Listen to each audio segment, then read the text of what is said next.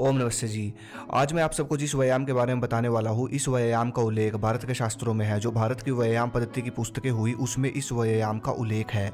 बंगाल के एक बहुत बड़े बलवान पुरुष हुए भीम भवानी। वो भी इस व्यायाम को लगाते थे और इस व्यायाम से उनका शरीर इतना मज़बूत हो गया था कि एक बार जब उनके गाँव में शेर घुस गया था तो भीम भवानी जी ने शेर की पसलियाँ तोड़ दी थी अपनी भुजाओं के बीच में देकर।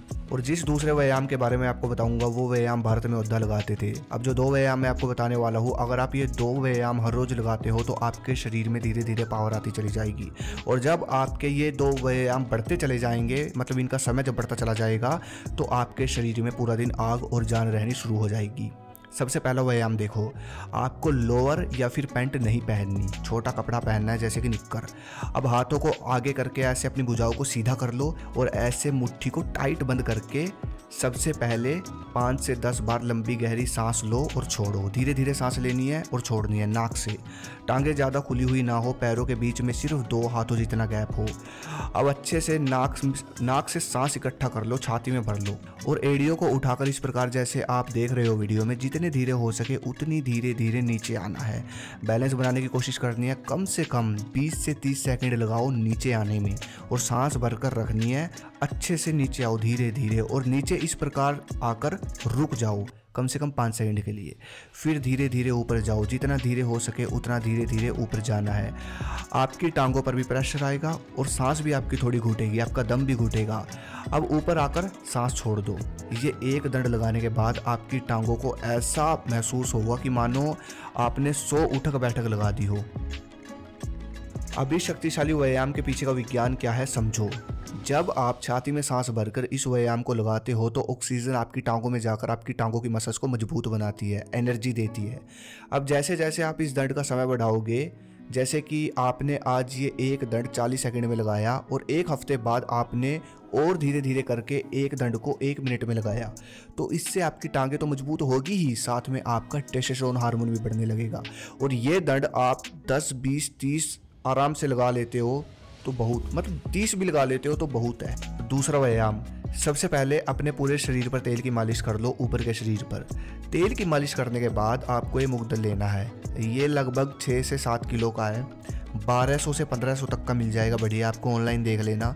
उसके बाद एक हाथ से ऐसे उठाकर आपको इस प्रकार ये मुग्दल घुमाना है।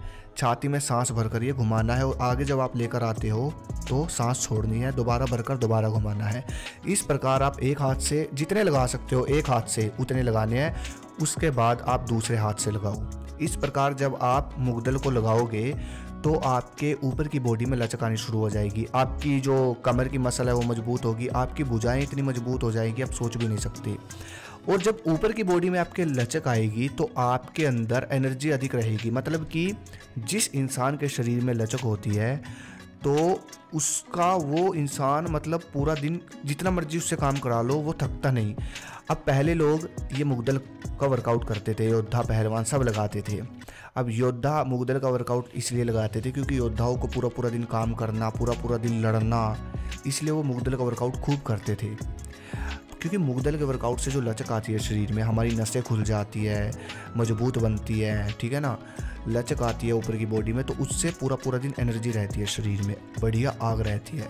और अगर और बल चाहिए आपको मुगदल से तो सबसे पहले तो आप ये एक छः सात किलो का मुगदल लेकर आओ, पहले तो एक हाथ से प्रैक्टिस करनी स्टार्ट करो, उसके बाद पंद्रह से बीस किलो का मुगदल जो भी मतलब आप देख आओ आपके आसपास, नहीं तो बन, बनवा लो। मतलब इतना भारी बनवा लो कि दो हाथों से उठे ना, फिर उससे आप वर्कआउट करो। दो हाथों से जो मुगदल, भारी मुगदल लेकर वर्कआउट करते हैं ना, उससे आपकी पूरी बॉडी पर ताकत आएगी।